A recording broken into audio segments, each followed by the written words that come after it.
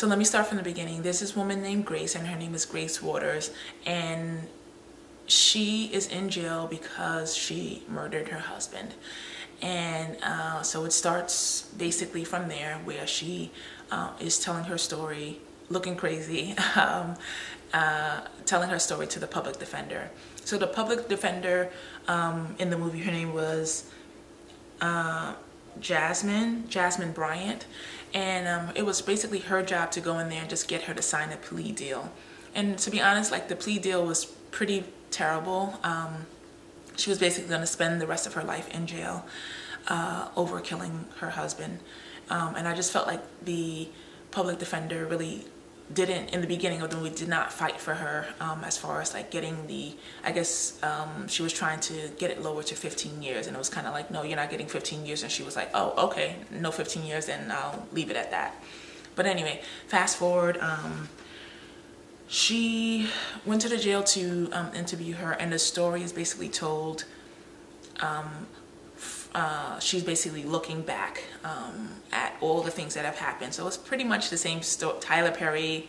So it's pretty much the same Tyler Perry type storyline um, of, you know, a black woman who's searching for love, seemed to be pretty desperate, looking for love, and um, she takes the first thing um, that comes her way, which was a, you know, a pretty attractive, like dark skinned guy. Yes, he did have on a bad wig, but nonetheless, he was a good looking, you know, um, black guy. And I remember watching the movie and feeling like, uh, he's a little bit too young for her. Like, I don't even understand why she's like, you know, kind of like interested. Um, and it just seemed too good to be true. So they're basically going out on dates. They're having a great time. Um, he's like super eager to like get upstairs into her, her house and everything like that. And she was just very distant. So I should probably let you guys know that Grace was married before and she had a she got a divorce because she caught her husband cheating with the secretary. And um, you know that kind of left her scorn. Uh, so she basically leaned on the church and leaned on her friend Sarah. And um, Sarah was trying to get her to start dating again. That she wanted her to get like her life like back on track and you know I still felt like Grace like had it going on. She had a nice little shape on her. Booty was like, you know, uh, plumped and everything like that. And um, she, her friend just wanted her to get like back out there. So she went to this art gallery where she met this guy named Shannon. And um, yeah, you know, I, I kind of felt like Shannon was quite um, intriguing, uh, you know, good looking. And, um, you know, if when you originally saw everything, you were like, wow, his photos are really nice and all that kind of stuff. So I was already like invested, right? So as Shannon was giving his um, speech at the art gallery, Grace kind of exits because she feels kind of silly because um, she was basically talking to him like he wasn't the owner of the gallery and she was saying oh you know the person's name is Shannon it's a woman and she has a good eye for this she later turned out to be right that it was a woman and um, it was actually the woman who jumped off the uh, house at the beginning of the movie. But we'll we'll get into all of that a little later so she leaves and he winds up sending her a picture, a photo, uh, to her job with a, a, rose, a red rose on top with a note. And so she was going back and forth in her mind whether or not she wants to call.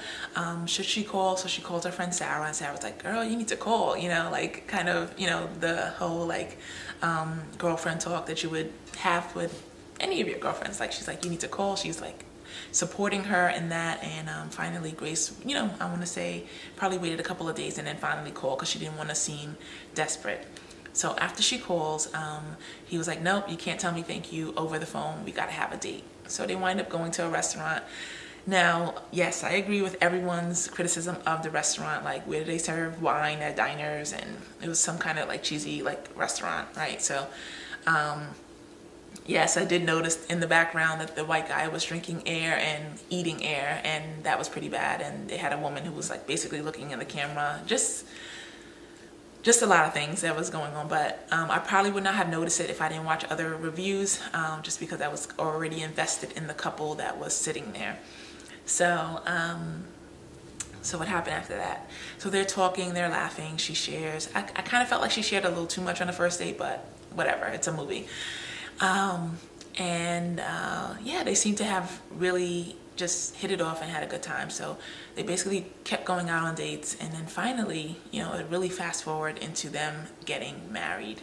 And this is where the twists and the turns start to happen. He starts to show his true colors after that and she was just mortified. So um, she basically goes into work and she's fired because her she, she works for like a financial institution and um, her accounts have been hacked and they think that she's the one that stole all of this money from the, the different clients. And yeah she, she gets home she's trying to call her husband he's not answering. She already had like a little inkling that uh, he had been cheating and um, when he gets back home she's like blasting him like where were you? Like I, I got fired from my job. And he's basically acting like he's concerned and all that other stuff. He's basically on the phone calling. Um, she's calling the IRS he's calling people like I was like something isn't right here. So um, after that she is like she has to do some more investigative work. She found a couple of like addresses. Um, actually when she went to the bank the woman was like, there was some white woman she was talking to, and she's like, oh, you know, we need our money, but um, all of the stuff is going to this address. It was notarized at this particular address. She drove to this house. She saw that it was abandoned, and then after that, she said, okay, she has to see the footage of, you know, the bank, the basically the bank footage, and then that's when she saw that it was her husband who was like behind all of this. And when I tell you this guy had some really horrible and terrible things, she's sitting in the chair all defeated, looking just miserable. Her hair was a hot mess uh, throughout the entire movie. Shame on you, Tyler Perry, for letting that happen. But um, what did he say to her that was like, oh, it really just hurt me? He basically said, and this is where she pretty much snapped, and I think I saw myself snapping in that situation too he basically said that um, she was um, women her age, women her age are low hanging fruit, um, single, vulnerable, lonely, weak as fuck, um, and that it, this was basically her fault um, for the situation that she's in. Like he she basically owes him that money because of all the sex that they have been having and the the marriage and the good time that she's been having that she owes him all of this money anyway. So she basically walks over to the side and she gets a bat and she starts wailing on this guy and there's like blood all over her there's blood everywhere.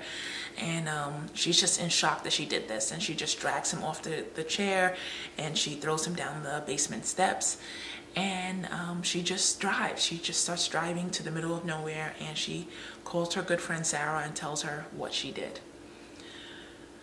So um, the guards come in and she has to stop her story there and um, the public defender is like, no, I need more, I need more information. And that's when she drives over to Sarah's house trying to get more information.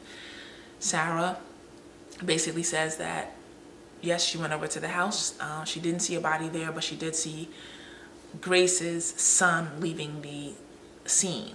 And um, this at this point, you're basically thinking that the son finished the job or like took the body out because they could not find the body. So um, they go to trial. The lawyer, the public defender does a terrible job and her boss, Roy, who's played by Tyler Perry, is like reaming her a whole new one. And she I'm just gonna fast forward because I feel like I'm making this video a little too long. This is my first review, by the way, and I'm gonna I'm I'm sure I'll get better at uh, doing some of the some of these types of videos. But anyway, so she gets held in contempt and she is in jail, and her boss comes over and just basically reams her a new one. She was pretty much in over her head. She this was her first case, and she did not do well at all. The uh, the I want to say the prosecutors, I think that's what they're called. The prosecutors just ate her for lunch and she didn't really stand a chance. So Grace was found guilty and, um, you know, her husband or boyfriend, was it husband or boyfriend? I think it was the husband, basically came to her and said, listen, you need to apologize to the to the judge and uh, so we can get out of here. So she apologizes and they are in the car driving. She wanted to see Sarah for one last time just to you know, check on her to see how everything is going. And she runs into the old woman and she, the old woman starts sharing some information. And then that's when she puts two and two together that Sarah is behind all of this. Um, I should probably mention that in court, as Grace was walking by, she saw a necklace on um, her friend Sarah, and then that's when she was started really putting things together. Like, how did she get this necklace? And just started putting things together. So that's when she called the lawyer, and she wanted to like um, share with her that she knew that Sarah was behind all of this. So anyway, so Sarah goes to the house. She's speaking to the old lady, and the old um, the old lady lets out some this uh, information about the address of where she lives. She just wants to go home, and then that's when uh, Jasmine put two and two together that oh my gosh, Sarah is behind all of this. So um, she hears a, a, couple of like thuds downstairs, and she goes downstairs to like check it out, and there's all these like women living downstairs, and she's mortified, like could not believe like what what she saw, and then out comes Shannon with like a head bandage, and she he's grabbing her and taking her into some room where he tied her mouth, you know, like tied something into her mouth so she couldn't scream, and um, it was just it was a lot. So the husband then gets like this alert like on his like computer screen and it says that Sarah's like behind everything. He realized he dropped Sarah, he dropped Jasmine off at Sarah's house. So he's like, you know, racing to get over there. Thank God, thankfully he was smart enough to like call for backup before he went into the house. Like, oh, it was just, it was too much. My heart was just like, oh my God, what's, what's happening? What's, what's happening? And um, so he finally, he's like, let me in. Sarah wouldn't let him in. It was like, you need a warrant. And he, you know, he was still very suspicious. He calls uh, Jasmine's phone. Jasmine's phone starts ringing. He kicks down the door. Girl, it was just, it was just way too much. so he kicks down the door. He comes in. Um, he's like looking for for his wife. Where's my wife? Where's my wife? Was so passionate. I was like, oh God, I wish I had a husband who would, you know, if something was, you know, going on with me, would be looking for me like that. Um, so as he's like his back is turned she like busts him on behind the head with a pan. It was just it was too much. It was just all just all too much at once. And um, so he didn't go down. They're they're tumbling and they're fussing around and he wind up you know handcuffing her. And I was like you know wait here as if she's really gonna like wait there. He goes downstairs. He finds Sarah sorry not Sarah. He goes downstairs and he finds Jasmine in like the room tied up. And then that's when Shannon comes out. They start fighting and he drops his gun. Um, Jasmine is screaming like, oh, my, my, you know, she's like, has the thing in her mouth, she's screaming and everything like that. And um, she breaks free, she grabs the gun, she shoots Shannon and, um, you know, he dies and, you know, he's helping all the women out of the house and all that kind of stuff. And basically Sarah gets away. You know, Sarah gets away in the movie, um, gets ready to end and she's, she basically found another like rich family that she's gonna wind up scheming and doing terrible things to. That's, that's, just kind of what I'm gonna just make the assumption because it kind of ended with her walking into the next like uh, rich family's house who she's gonna like take care of the the um, woman's mother. So it ends like that. But like so, um, I hope that you guys enjoyed this. Um, overview because I can't even say that this is a review but I hope that you enjoyed this overview of the movie and just what the movie was about so I'm gonna have to figure out how to really do reviews because uh, I did enjoy watching the movie and then coming here and talking about it. I enjoyed, you know, writing about it and um, just understanding like the whole like plot and what this movie was actually about. So, so I hope you guys enjoyed this video and I will catch you in the next one. Mwah.